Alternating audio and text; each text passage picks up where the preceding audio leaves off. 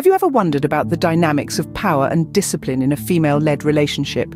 Today, we'll delve into the intriguing world of hand spanking and chastity, and how they play crucial roles in maintaining order and respect. A good hand spanking serves as a reminder of the woman's authority in the relationship. It is not about inflicting pain or causing harm, rather, it's an act of discipline, a way to correct behaviour and establish boundaries.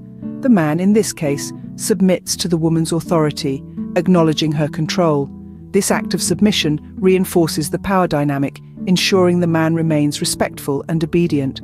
The act of spanking has a psychological impact as well. It serves as a physical reminder of the woman's authority and the consequences of disobedience. The anticipation of a spanking can be a powerful deterrent, keeping the man in line and reinforcing the power dynamic. It also fosters a sense of trust and intimacy, as the man willingly submits to the woman's authority.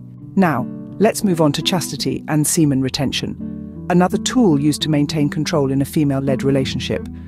Chastity is not about denying pleasure, but about controlling it it's a way for the woman to assert her control over the man's sexual gratification. This can have a profound effect on the man's psyche, making him more attentive and focused on the woman's needs and desires. Semen retention, on the other hand, is a practice that goes hand in hand with chastity. The man refrains from sexual release, which can lead to increased energy levels, sharper focus, and heightened sensitivity.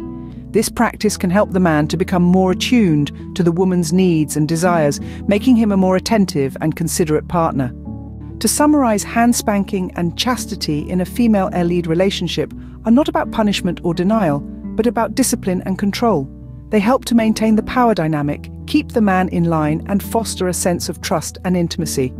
These practices can also enhance the man's focus and attentiveness, making him a better partner. Remember, Every relationship is different, and what works for one might not work for another. It's about finding what works best for you and your partner, and fostering a relationship built on respect, trust, and mutual satisfaction. So explore, communicate, and find your balance. Thank you for joining us on this journey of understanding the dynamics of a female led relationship. Until next time, stay curious and keep exploring.